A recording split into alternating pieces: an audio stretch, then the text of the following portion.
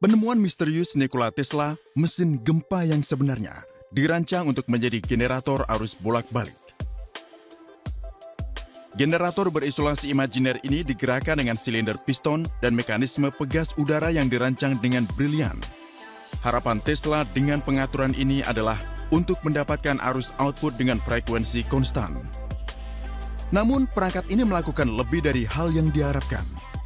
Tesla mengklaim getaran yang dihasilkan osilator ini menyebabkan gempa bumi di New York City. Mari kita cari tahu apakah perangkat itu benar-benar mengguncang New York? Pada tahun 1880-an, pengembangan generator arus bolak-balik berada di garis terdepan inovasi. Nikola Tesla menemukan generator putar pertama dan kemudian mengikuti generator bolak-balik. Tujuan dibalik desain bolak-balik adalah untuk menghasilkan arus output dengan frekuensi konstan bahkan jika tekanan uap dan muatan listrik bervariasi yang merupakan karakteristik penting dalam aplikasi pembangkit listrik. Generator putar tidak efisien untuk memenuhi persyaratan ini pada waktu itu. Prinsip dasar pembangkitan listrik dikemukakan oleh pikiran jenius Michael Faraday yang menemukan bahwa ketika Anda menggerakkan kumparan tembaga bolak-balik di dalam medan magnet, gaya gerak listrik muncul melintasi konduktor. Saat rangkaian ditutup, arus mulai mengalir ke kumparan. Nikola Tesla mengganti magnet permanen dengan elektromagnet yang mana begitulah cara mendesain generator listrik. Sekarang, kita membutuhkan mekanisme untuk menghasilkan gerakan bolak-balik untuk menginduksi kumparan. Apakah ada yang lebih baik dari mesin uap bolak-balik? Putar saja kumparan tembaga ke ujung batang piston dan voila! Mari kita pahami cara kerja mesin uap. Sebuah boiler memasok uap dengan suhu dan tekanan tinggi. Katup geser memastikan bahwa kadang-kadang uap bertekanan tinggi memberikan gaya pada bagian atas piston dan di lain waktu ia bekerja dari bagian bawah.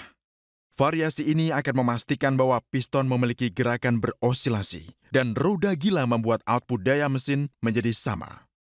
Nikola Tesla tidak senang dengan mekanisme mesin uap yang rumit ini, jadi dia membuat mekanisme yang lebih sederhana.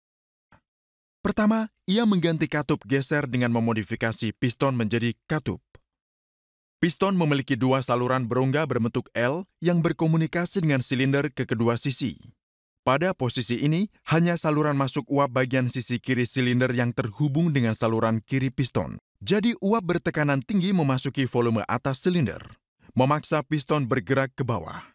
Begitu piston mencapai jalan pintu bawah, yang terjadi justru sebaliknya. Untuk membuang uap dari langkah sebelumnya, Tesla menambahkan dua pipa di kedua sisinya. Sungguh mekanisme yang brilian dan sederhana untuk menghasilkan gerakan bolak-balik dari uap bertekanan tinggi. Di sini, jelas semakin banyak tekanan uap, semakin besar pula kecepatan mesin. Tesla ingin perangkatnya menghasilkan gerakan output RPM konstan terlepas dari tekanan uap input.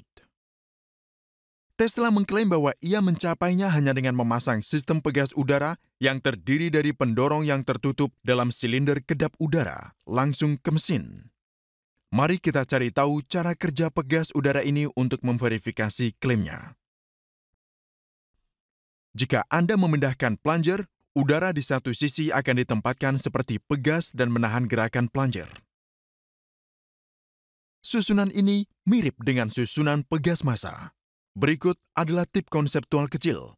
Terlepas dari perpindahan awal yang Anda berikan, sistem massa pegas selalu berosilasi pada frekuensi konstan yang dikenal sebagai frekuensi alami.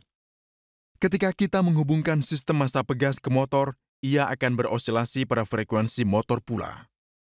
Keadaan ini dikenal sebagai getaran paksa. Nikola Tesla mengklaim bahwa ketika ia menghubungkan mesin berosilasi ke pegas udara, perangkat beroperasi pada frekuensi alami sistem pegas udara. Klaimnya tampak aneh. Ini persis berlawanan dengan fisika umum. Namun, jika Anda memahami sifat gaya yang bekerja pada piston, Anda akan percaya. Gaya tidak terus-menerus. Gaya itu terputus-putus seperti yang ditunjukkan. Dalam mesin ini, uap bertekanan tinggi akan terputus setelah durasi waktu yang singkat. Ini berarti gaya tiba-tiba berlaku pada awal stroke dan sekali lagi dalam arah yang berlawanan di akhir stroke. Dalam kasus getaran paksa seperti sistem pegas motor listrik, gaya yang bekerja pada pegas adalah kontinu. Singkatnya, pengaturan pegas osilator udara Tesla tidak sepenuhnya merupakan kasus getaran paksa. Analogi terbaik untuk lebih memahami mesin Nikola Tesla adalah pendulum sederhana. Untuk kasus ideal tanpa gesekan, bandul jika diusik akan berosilasi selamanya pada frekuensi alaminya. Kini, misalkan Anda menambahkan sudut perpindahan awal, kecepatan dan amplitudo bandul akan meningkat menjaga periode tetap konstan. Lalu, bayangkan Tesla memberikan dorongan kecil setiap kali bola mencapai ujung yang ekstrim. Apa yang akan terjadi? Apakah jangka waktunya akan tetap sama? Ketika Tesla menambahkan dorongan ekstra di akhir, dia memberikan kecepatan awal ke bola yang setara dengan menjatuhkan bola dari sudut yang lebih tinggi. Kita sudah tahu bahwa melepaskan pendulum pada sudut yang lebih tinggi tidak akan mengubah periode waktu. Jadi dalam kasus dorongan kecil di ujung ekstrim juga, periode waktu akan tetap sama tetapi amplitudo osilasi terus meningkat. Gaya yang sama persis bekerja pada osilator Tesla juga. Gaya durasi kecil di ujung ekstrim. Ini berarti bahkan jika Anda meningkatkan tekanan uap osilator Tesla, amplitudo akan bertambah, tetapi periode waktu untuk frekuensi osilasi tetap konstan. Tesla mengamati bahwa efek ini berlaku untuk berbagai tekanan uap. Hore! Nikola Tesla telah mengembangkan mesin yang akan berjalan pada frekuensi konstan terlepas dari tekanan uap yang masuk. Singkatnya, dia mencapai tujuan pertamanya. Menariknya, sistem pegas udara juga bertindak sebagai roda gila yang menyimpan dan melepaskan energi dalam bentuk panas sesuai kebutuhan. Anda bisa melihatnya sebelum melewatkan uap masukan ke mesin. Tesla mengedarkannya ke sekitar silinder pegas udara yang dipanaskan untuk menyerap panas darinya. Ceritanya belum berakhir. Sekarang, Tujuan kedua Nikola Tesla, dia menginginkan output frekuensi konstan dari mesin ini bahkan ketika dia menghubungkan generator dan muatan listrik ke mesin ini. Ketika rangkaian output generator terbuka, tidak ada arus yang mengalir melalui kumparan output dan bagian generator yang berosilasi tidak akan memiliki hambatan elektromagnetik. Namun, ketika rangkaian ditutup, arus yang mengalir secara magnetis akan melawan gerakan osilasi, dan frekuensi mesin akan turun secara tiba-tiba. Gaya yang berlawanan ini dikenal sebagai reaksi jangkar. Anda bisa melihat bahwa output IMF dan arus tidak dalam fase yang sama. Semakin besar sudut antara dua besaran ini, semakin besar gaya reaktifnya. Di sini arus induksi tertinggal di belakang IMF karena sifat induktansi induktor. Jadi, untuk mencapai tujuan keduanya, ia memasukkan kapasitor variabel di sirkuit. Dengan menyesuaikan kapasitor dalam sirkuit, Tesla mengatur sudut perbedaan fasa ke nol.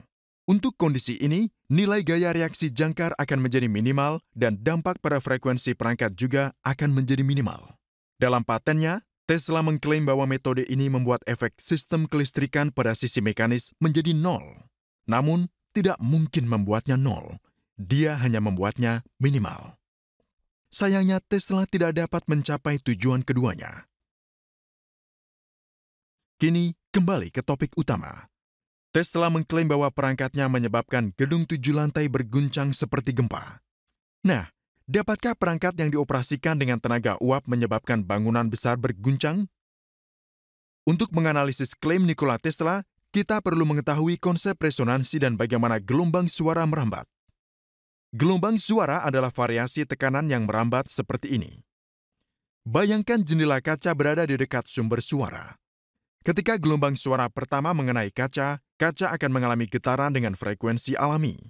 Bagaimana jika gelombang suara kedua mengenai kaca tepat saat kaca kembali ke posisi awal? Amplitudo osilasi kaca akan terus meningkat, bukan? Di sini, frekuensi suara cocok dengan frekuensi alami kaca, suatu kondisi yang dikenal sebagai resonansi. Akhirnya, kaca akan pecah karena amplitudo yang tinggi. Ini adalah keajaiban resonansi.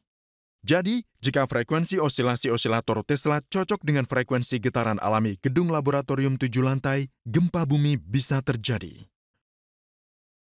Kami melakukan beberapa survei untuk mencari frekuensi getaran alami beberapa bangunan, termasuk bangunan Tesla, yang perkiraan kasarnya adalah 1,42 Hz. Menariknya, Tesla pada awalnya merancang osilator untuk produksi daya frekuensi 60 Hz. Kemudian, dia membuat perangkat tersebut agar bisa diatur. Jika Tesla mencapai frekuensi 1,42 Hz dengan perangkatnya, ini jelas akan menyebabkan resonansi dan akhirnya gempa.